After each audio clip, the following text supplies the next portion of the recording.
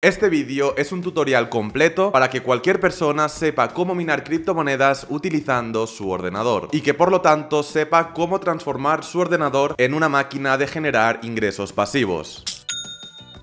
Este vídeo está estructurado para que cualquier persona lo entienda y para que cualquier persona sepa cómo hacerlo. Lo explicamos todo paso a paso para que lo único que tengas que hacer es copiar qué es lo que estamos haciendo. Minar criptomonedas con un ordenador te va a permitir generar ingresos gracias a un ordenador que no utilices o bien te va a permitir generar ingresos con tu ordenador mientras que no lo utilizas. Hace un mes grabé un vídeo en el cual enseñaba cómo Ramón, que es uno de mis mejores amigos y también es quien se ocupa de crear las miniaturas para este canal, estaba minando criptomonedas con ordenadores portátiles. Fui hasta Barcelona para que nos comentase cómo funcionaba y cuánto dinero estaba ganando. Y nos comentó que estaba ganando 7 euros al día de beneficio neto. Eso quiere decir que estaba ganando 7 euros al día después de haberle restado todos los gastos. A raíz de ese vídeo he recibido cientos de mensajes de personas pidiendo que Ramón haga un vídeo en el cual explique paso a paso cómo cualquier persona puede hacer lo que él hace. Así que este es el vídeo. En este vídeo Ramón va a explicar el paso a paso y para que cualquier persona lo entienda cómo minar criptomonedas con cualquier ordenador. Este tutorial es tanto para personas que quieran comprar ordenadores para ponerlos a minar, como para personas que quieran utilizar un ordenador que ya tienen y lo quieran poner a minar. Ramón lo que hace es comprar otros ordenadores porque realmente si estás minando criptomonedas con tu ordenador de uso diario, tu ordenador va a ir realmente lento y es por eso que simplemente vas a poder minar criptomonedas mientras que no estás utilizando el ordenador o bien pues puedes estar minando criptomonedas con un ordenador que no utilices en tu día a día. Es posible minar criptomonedas con cualquier ordenador, pero hay que tener un poco de sentido común. Si el ordenador que quieres utilizar para minar criptomonedas no funciona bien, pues obviamente no vas a poder minar criptomonedas con él. Si el ordenador te va muy lento, si el ordenador se apaga solo, si abres YouTube y se apaga el ordenador o se bloquea, pues obviamente si ese ordenador funciona muy mal, pues obviamente no vas a poder minar criptomonedas con él. Pero si es un ordenador normal que funciona de una forma normal, sí que lo vas a poder utilizar para minar criptomonedas. Puedes utilizar un ordenador caro o bien un ordenador barato. Normalmente los ordenadores caros tienen mejores componentes y por ello van a minar mejor y van a generar más dinero. Y normalmente los ordenadores baratos suelen tener componentes de peor calidad y por ello suelen minar menos criptomonedas. Pero realmente se pueden utilizar los dos. Lo bueno es que es bastante sencillo de poner a minar un ordenador con la estrategia de Ramón, por lo tanto simplemente puedes probar, ver lo que te genera y si te parece suficiente lo dejas y si te parece muy poco pues simplemente lo quitas y ya está. Antes de dejaros con Ramón y que os explique el paso a paso, quiero avisaros de que este es un vídeo de YouTube de pago y para poder acceder al contenido vas a tener que darle un buen like a este vídeo. Así que si te parece un precio justo, simplemente deja un like y vamos con el vídeo. Buenas a todos y bienvenidos a este paso a paso sobre cómo minar con cualquier ordenador. Entonces, antes de nada, lo que quería recalcar es que minar, al fin y al cabo, es una inversión más. Requiere de tiempo, muchas veces si no tienes un equipo y quieres comprar requiere de dinero, siempre te va a requerir un coste eléctrico. Entonces, todo lo que yo os cuente es para mi caso personal y en ningún caso es una recomendación. Lo que tenéis que hacer es, en base a la información que os dé, informaros y decir si en vuestro caso es rentable. Yo, por ejemplo, en mi caso, valoraba mucho que los productos que compraba para minar tuviesen una garantía. Entonces, en base a eso, estuve investigando y vi que para minar con tarjetas gráficas, si las quería comprar nuevas, tenía que comprarlas a un precio desorbitados. Al menos es el caso en mi país. Entonces, lo que dije fue, pues mira, prefiero comprar portátiles que a lo mejor refrigeran un poco peor, pero que puedo mantener más o menos a temperaturas aceptables y sacarle prácticamente la misma rentabilidad que con gráficas. Dicho esto, empecemos. ¿Qué portátiles recomiendo para minar? Podéis minar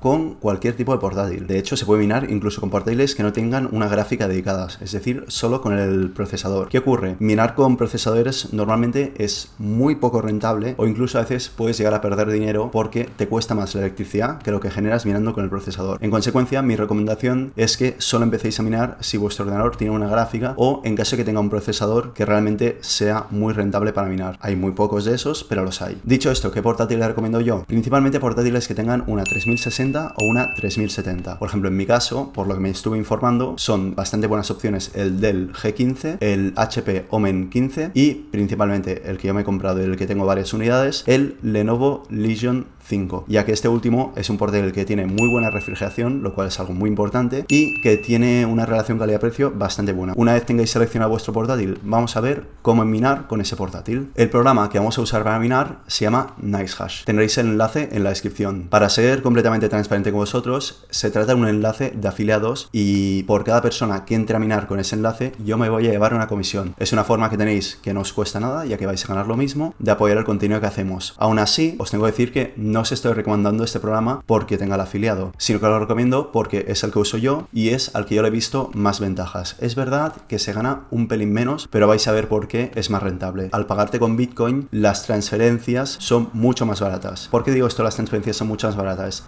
Tanto NiceHash como las Mining Pools de por sí no te van a cobrar una comisión por retirar. Los que te cobran la comisión son la red de Ethereum y la red de Bitcoin. Y resulta que por los problemas de escalabilidad que tiene a día de hoy Ethereum, las comisiones que te cobran por hacer transferencias son muy caras. Estamos hablando de en un día bueno unos 30 dólares por hacer una transferencia y en un día malo podemos hablar de más de 100 dólares por hacer una transferencia. Estas comisiones en Bitcoin comparadas con Ethereum son irrisorias. Probablemente estéis pagando menos de un dólar en la mayoría de vuestras transacciones con Bitcoin. Por eso es una gran ventaja también, ya que si estás minando Ethereum tendrás que pagar prácticamente todo tu profit a la hora de retirar en caso de que tengas pocos portátiles minando o en caso de que tengas un rig pequeño y no te va a salir prácticamente rentable. Dicho esto, ¿cómo podemos empezar a minar con Para empezar a minar, lo primero que vamos a hacer va a ser crearnos una cuenta. Para ello, vamos a ir aquí a Get Started, vamos a poner nuestro email, en mi caso voy a poner un mail que no uso, vamos a poner una contraseña Vamos a poner nuestro país aquí y vamos a confirmar. Esto no hace falta que lo seleccionéis, es simplemente por si queréis recibir emails en iSash. Vamos a darle a crear cuenta y una vez hayamos hecho esto, vamos a esperar que nos llegue un email de verificación. Nos va a llegar un email como este, vamos a copiar este código, a ver que no sé si lo he copiado bien, ahora vamos a engancharlo, vamos a verificar, luego simplemente vamos a volver a loguearnos con los datos que hemos introducido previamente y ya estaríamos dentro. Os va a salir esta ventana en la que simplemente os pide seleccionar los servicios que vais a usar, pero bueno, esto al fin y al cabo lo podéis dejar tal y como está. Le vamos a dar aquí a Start Using NiceHash y a partir de aquí ya podemos empezar a añadir ordenadores que van a minar a nuestra cuenta de NiceHash. Entonces, en mi caso, voy a añadir este mismo ordenador que estamos usando, pero en vuestro caso podríais añadir otro ordenador. Es decir, la gracia de esto es que se pueden añadir varios ordenadores a una misma cuenta. Para añadir un ordenador vamos a hacer lo siguiente. Vamos a irnos a Mining, vamos a ir a, esto lo podemos saltar, simplemente es una especie de tutorial. Vamos a darle a Download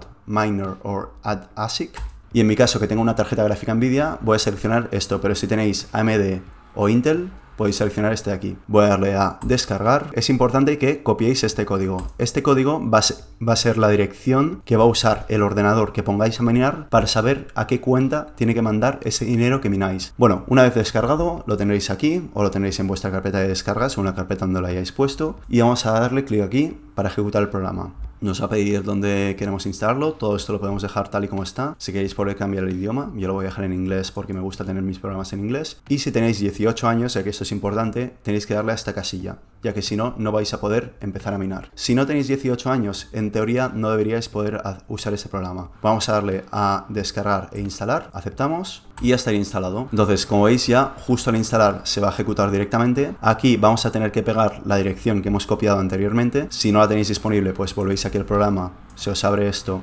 Vamos a apartar un poco esto. Y la copiáis. Y aquí borramos esto y la enganchamos. Control V. Si no, también lo podéis hacer así. Control Paste. ¿Vale? Ok. Vamos a darle aquí. Aquí le podéis poner un nombre que va a ser el nombre que se va a ver luego aquí en vuestro panel de control. Yo en mi caso voy a ponerle, pues... Voy a ponerle Prueba, esto es importante que lo seleccionéis, el auto start. Básicamente esto lo que va a hacer es que en caso de que vuestro ordenador, por ejemplo, se quede sin batería por algún motivo porque de repente se os va la luz o cualquier cosa así, que cuando se reinicie Windows que automáticamente vuelva a empezar el programa y esto lo que os permite es que si por ejemplo hay cualquier problema y no estáis en casa, que se reinicie automáticamente y vamos a darle a OK. Y como veis, en cuanto tengáis esta ventana aquí, ya estará mirando. De hecho, como veis, justo se acaba de actualizar aquí la página y veis que aquí pone prueba, que es el ordenador. Y esto aquí lo puedo controlar desde cualquier sitio. Puedo entrar en esta misma web, loguearme desde el móvil y verlo desde el móvil. Puedo incluso descargarme la app, loguearme en la app y controlar todo esto desde el móvil. Y desde aquí puedo ver cuánta energía está consumiendo, qué velocidad está mirando, que nos lo pone aquí, 20 mhashes, ya que como veis aquí en este ordenador tengo una 3000, tengo una 2060, a diferencia de mis ordenadores que minan que tienen una 3060. Podemos ver también la temperatura y podemos ver también la temperatura de, función, que esto es importante que se mantenga siempre por debajo de los 80 grados. Incluso en torno a 80 y empieza a ser relativamente malo. Yo diría siempre por debajo de 85 y obviamente cuanto más frío mejor. Si puede estar en 65, que es a lo que lo tengo yo, ya que lo tengo en una habitación muy fría, más que mejor. Dicho esto, ya tendríamos nuestro ordenador minando. A partir de aquí si queremos sacarle más rentabilidad, podemos hacer un proceso que se conoce como overclock y un segundo proceso que se conoce como undervolt. Estos procesos no los voy a enseñar en este vídeo, ya que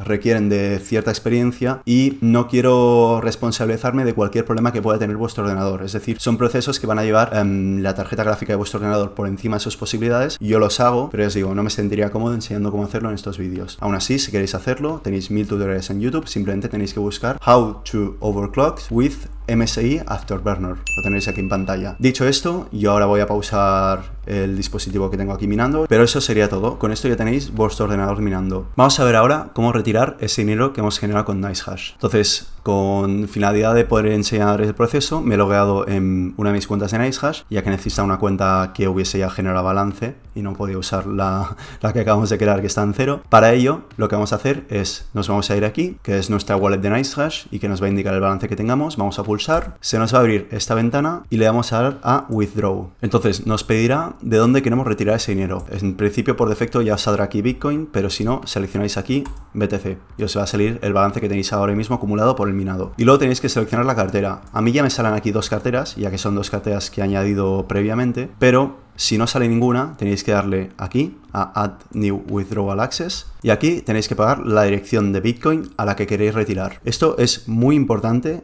que no os equivoquéis, porque si escribís una dirección mal y el Bitcoin se envía a esa dirección, es imposible de recuperar. Es decir, que si no queréis perder vuestro dinero, es muy importante que retiréis a la cartera correcta. Entonces, para este ejemplo, voy a retirarlo a Coinbase, que seguramente será un servicio que usáis muchos, así que he decidido coger Coinbase como ejemplo, pero serviría cualquier plataforma a la que se pueda depositar Bitcoin. Entonces, en Coinbase nos iríamos enviar recibir, vamos a darle aquí a recibir, entonces nos está diciendo distintas opciones a la hora de retirar las monedas, pero a nosotros solo nos interesa esta del Bitcoin. Entonces veis aquí que tenéis varias opciones. Si por defecto sale otra, um, se le tenéis que seleccionar aquí Bitcoin. Y vais a ver aquí que os sale la dirección. Esta dirección es muy importante que la copiéis bien. ¿Qué os recomiendo yo para aseguraros que está bien copiada? Lo que os recomiendo es, para empezar, pulsar este botoncito aquí y quedaros siempre con los primeros dígitos y los últimos de la dirección, ya que si esos están bien, en general el resto de la dirección estará bien. Entonces la pegamos aquí y como veis aquí nos pone 32DC y aquí nos pone XEHF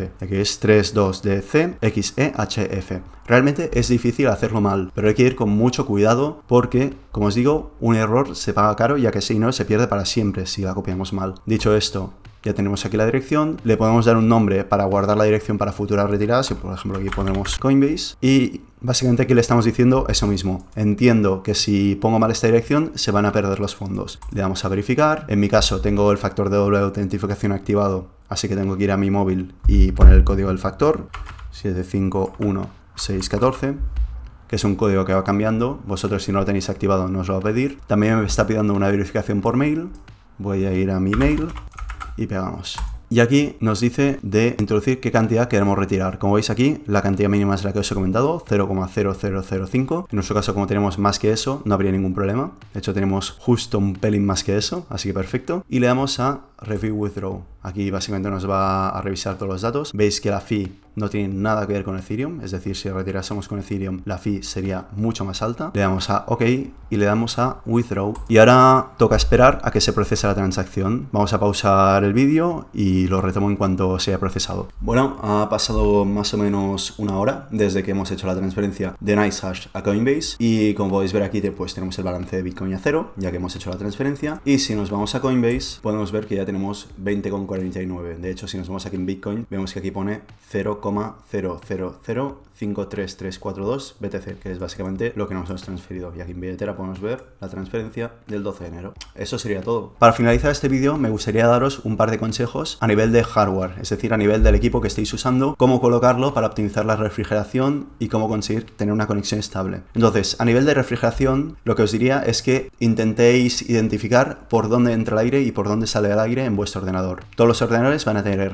em, puertos de entrada y puertos de salida de aire, que estarán cubiertos por rejillas y ventiladores. Entonces, es importante que los puertos de entrada tengan una entrada de aire frío, es decir, que intenten estar lo más despejados posibles y que tengan la entrada de frío lo más despejada posible. Esto en general suele conseguirse metiendo el ordenador en posición vertical. Os voy a dejar aquí una imagen, pero básicamente poniendo el ordenador así como estáis viendo en pantalla en modo pirámide, por decirlo de una forma, lo que conseguimos es que los ventiladores de entrada, que en general están debajo del ordenador, queden despejados y los ventiladores de salida, que en general están por la parte de atrás o por los laterales, queden también muy despejados y de esta forma conseguimos que el ordenador refrigere mejor, ya que no tiene tantos impedimentos a la hora de hacer circular el aire. Yo en mi caso, por ejemplo, los tengo en este soporte que también veréis aquí en pantalla y además de ello, como ya empieza a calentarse el clima, ya que se está acabando el invierno, tengo pedidos unos ventiladores que voy a poner en las entradas de aire de esta parte de aquí de abajo del ordenador, que van a servir para forzar aire extra dentro del ordenador y obtener así una aún mejor refrigeración. Es decir, hay mil formas de hacerlo, lo importante es que entre mucho aire muy frío dentro del ordenador y que el aire que salga caliente intentar echarlo lo más lejos posible para que no vuelva a entrar ese aire caliente dentro del ordenador. Luego otra cosa que podéis intentar hacer, que no siempre es posible, es tener una conexión cableada a ese ordenador que vais a usar para minar. Hay un tipo de cable que se llama Ethernet, que se puede conectar directamente a vuestro router Wi-Fi y se puede conectar directamente a vuestro ordenador. De esta forma, con una conexión cableada, la conexión será mucho más estable que por Wi-Fi directamente y lo que vais a conseguir es que no tengáis normalmente caídas a nivel de conexión y en consecuencia que vuestro ordenador nunca pare de minar, ya que si se cae la conexión a internet también va a parar de minar vuestro ordenador. Y eso sería todo. Para concluir este vídeo me gustaría decir que todo el tema del gasto energético lo tratamos en el primer vídeo, por lo tanto si es un tema que te interesa puede dejar en la descripción de este vídeo el link al primer vídeo donde tratamos pues cuánto dinero se gasta exactamente en electricidad al estar minando con estos ordenadores. Soy Adrián Sainz y nos vemos en el siguiente vídeo.